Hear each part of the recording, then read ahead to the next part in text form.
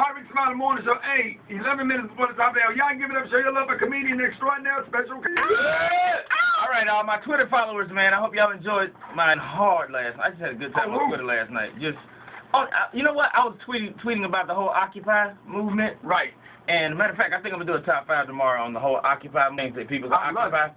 Yeah, and um, you know, just a little light twist on it. So follow me. Y'all can occupy. that was one of them. That was one of them. I'm sorry. we think alike. All right, look. Uh, y'all can follow me on Twitter at SpecialK913. Of course, you can go to RickeySmileyMorningShow.com. Click on my picture for more wonderful information and uh, how to get in touch with me. Top five. I don't know how to put that. More wonderful information on More wonderful information on how to get in touch with me. with. Yeah, on how to get in touch with me. You know, some people want to get in touch. The top five good things about getting pregnant by Justin Bieber. That's the story of the day. All Justin right. Bieber apparently had somebody, you know, allegedly knocked up. Anyway, today's top five is sponsored by a new government aid program. Now, you know, uh, you know, they're opening up and being a little more open and supportive of uh, LGBT people, and the new government aid program for gay college students. Uh, let's see, financial aid for gay students. Uh, financial aid for gay students. You can go to the website and find out more about it. Fag.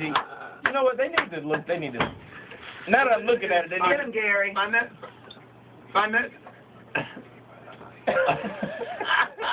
Sign that to A for gay students. Once and for all, I'm not gay. Okay? I'm not gay. You have to make that. I'm not gay. Okay? Do you have like this? If, mm. There was one situation that happened at a Christmas party one time, but I was drinking. And it was Right. dark. And we had to. Anyway. What? What? Yeah, but that what that got to do with Have you ever anything? stayed at that person's house overnight? I mean, like in the same room, but let me get to it. Top five good things about being pregnant by Justin gay. Bieber. Number five, Justin has enough money that you'll never have to stand in line filling out paperwork at the county office to get Section 8 or food stamp cards. Number four, there's a good chance the kid will know how to do the Dougie by the time he's three. Right. Number three, whether it's a boy or a girl, they can still get that goofy ass haircut like daddy. Number two, it's almost a guarantee that they'll be able to get Usher to perform at one of the kids' birthday parties. that would be nice. He owes them. And the number one good thing about being pregnant by Justin Bieber, it could have been worse because you could have got knocked up by a Lil Scrappy. Look, Scrappy ain't got no money. What did they rock?